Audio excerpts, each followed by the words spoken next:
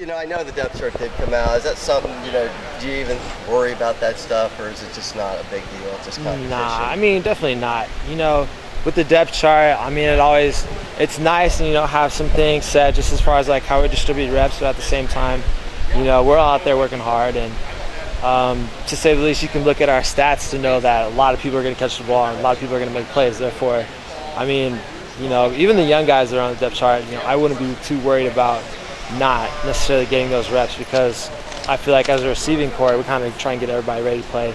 We definitely, you know, want to have all wheels rolling as far as, you know, anybody gets tired, next guy's in for sure.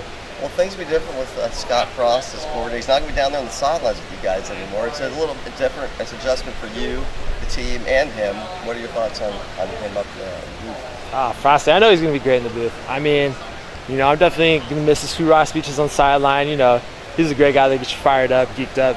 But I'm, I'll be ready for, you know, whatever halftime stuff he has to say because, you know, he definitely comes down during that time to try and say a couple words to us, you know, as far as what the game plan is and what we're trying to accomplish. But you know, it's definitely a great time for a lot of other guys to step in. You know, Coach Lubick, it's great to, it's going to be awesome to see what he does. You know, under the fire, you know, in the heat of the action. I don't know if things are like Duke over here, but um, I'm definitely looking forward to seeing how he does in action. But how does Coach Lubick compare to Scott? Coach uh, Lubick, he's probably, I would say he's a little bit more analytical in a way, I guess. I mean, you know, he's kind of more like a physics guy, and I would definitely say, you know, Coach Frost has a lot more of like game experience. I would say. I mean, he played, you know, NFL football and played DB for a little bit, and uh, you know, they both bring different aspects to the game for sure. Could you say a few words about a team, uh, Nicholls State? I know you're not going to compare them to Alabama. well, Same I mean, part of the country. Roughly. To Alabama's respect, I don't think you can really pair a lot of teams to Alabama. But um, Nicholls State, you know, definitely looking at their DBs a lot. Um, we're going to be physical like we always are, and we're definitely going to come off the ball with speed. And I know they kind of you know try and play off a little bit, and I think they'll probably play off a little bit on us just to, to respect you know the type of speed that we have, especially you know De'Anthony Thomas, B.J. Kelly, me. I, I like to say myself, uh, Josh Huff, all those guys out there. I feel like we bring a little bit of heat out there, so they're definitely going to have to be honest in their coverages for sure. Most people you know are going to say no matter what the score is, people are going to say, this told us nothing about Oregon. Nicholls State is such an inferior team.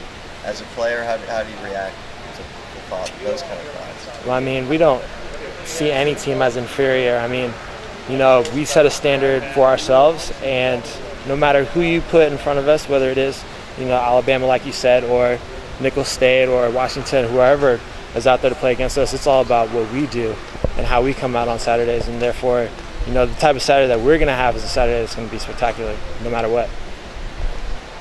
Daryle, we, we talked on Media Day about how excited you were for fall camp.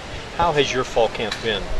Oh, it's been awesome. I mean, you know, I'd, I'd like for it to always be awesome. This is my last one here at the University of Oregon, and I think, you know, it's definitely it's had its share of memories. Uh, definitely had a few times to reflect, you know, count down my last days of like, oh, this is my last double day, last single day you know, last time I'm gonna have to get up this early in the morning and things like that. And you know, there's a lot of great, awesome memories and camaraderie that comes with things like fall camp. This game week probably couldn't come fast enough for you. Here we are, just a few days away from Saturday, Nicholls State. Uh, that's got to be exciting for you. Oh yeah, without a doubt. I mean, you know, I feel like a lot of the guys are a little tired of smacking each other around, and you know, we all want to try and stay healthy, and we're ready to, you know, debut what exactly we've been doing, you know, this whole spring and this fall. Which is, maybe you can give us a little bit of a sneak peek. I don't know if I can give you a sneak peek, but just know that we're going to come out fast, really fast.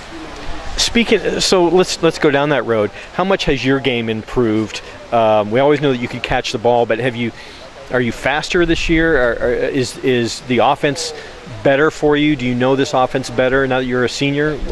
What what are some of the those intangibles that you bring? I mean, I feel like I definitely am thinking a lot faster for sure. You know, so much of what I had to learn was kind of a lot more outside of just the scheme of the offense and really understanding what it is to be a receiver and how that applies, you know, within any offense. So I feel like so much more is reacting to defenders and, you know, really dictating what I'm going to do to defenses myself. And I feel like a lot of what I was doing before was kind of just, you know, seeing where I fit into the offense and maybe overthinking little things, you know, I know when I'm going to get the ball and when I'm not going to get the ball. And I feel like to up my efficiency, I definitely had to improve on my technique and you know do everything full speed and definitely kind of gut it out a little bit more than I have in the past. I think I'm in a lot better shape than I've ever been before too. When Chip was here, um, he really emphasized blocking for receivers. Is this a good blocking corps receivers? Oh yeah, I mean, you look at guys like Josh Huff and Keanon Lowe. They're definitely one of the more physical guys on the field, without a doubt. I mean, you can look at the tape and know that you know we're kind of bullies on the outside. Um, we definitely love the competition whenever you know DBs come out and they try and be physical, because I feel like a lot of people think that there are a bunch of pretty boys out there, and you know everybody's got the towels and the wristbands, and you know we go out there and we like to smack heads. We know a couple guys are going to come around and smack us back, but that's why you play the game. With the number three ranking to begin the year, a lot of players say it doesn't matter. What scoreboard is what matters. But is there any added pressure? Do you do you think about the ranking? Do you look at that stuff as as the games get nearer? Does that matter to you? Um, I'm a quote uh, a guy who used to coach here, and he said, "Pressure is what you feel when you don't know what you're doing."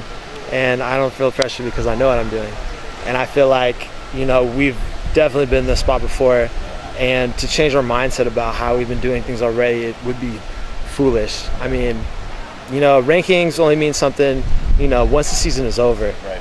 And I feel like, you know, however we start or things like that, that's it's awesome for the fans, you know, to get a nice little glimpse into the future. However, you know, what's going to make us earn that is what we do every single day, week in and week out. You excited to go back out on Autzen Stadium this Saturday? Oh yeah, I love the intensity, love the crowd, and there's nothing like that tunnel. I'm definitely, I'm counting down just for you know that moment because I only got so much of those left.